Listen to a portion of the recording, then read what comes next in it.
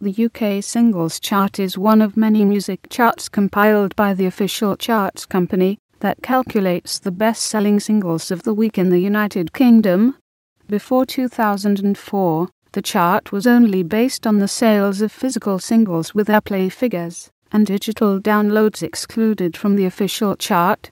This list shows singles that peaked in the top 10 of the UK singles chart during 1995, as well as songs which peaked in 1994 and 1996, but were in the top 10 in 1995. The entry date is when the song appeared in the top 10 for the first time. 154 singles were in the top 10 in 1995. Irish boy band Boyzone had the most top 10 entries in 1995 with 5. Father and Son was their biggest hit of the year. It peaked at number 2 in December and spent 8 weeks in the top 10. Love Me for a Reason also reached number 2 in January, So Good made number 3 in August, and Key to My Life charted at the same position in April.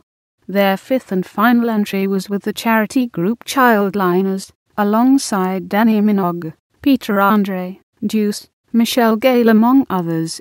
The group reached number 9 in December with the song The Gift of Christmases. Bon Jovi, Janet Jackson, MN8, The Outhere Brothers, E17 and Oasis all had four top 10 entries in 1995. The acting slash singing duo Robson and Jerome had the biggest selling single of 1995 with Unchained Melody slash The White Cliffs of Dover, which spent seven weeks at number one in the UK, a total of 10 weeks in the top 10 and sold over 1.8 million copies.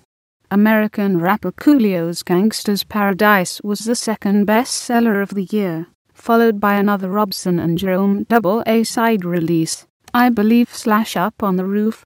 Songs by Take That, Celine Dion, Michael Jackson, and Everything But the Girl were also in the top 10 best selling singles of the year. The following table shows artists who achieved three or more top 10 entries in 1995. Unlike the main list, this table includes songs in the figures that reached their peak in 1994 or 1996. The figures include both main artists and featured artists, while appearances on ensemble charity records are also counted for each artist. Bon Jovi had four top 10 entries in the UK singles chart in 1995.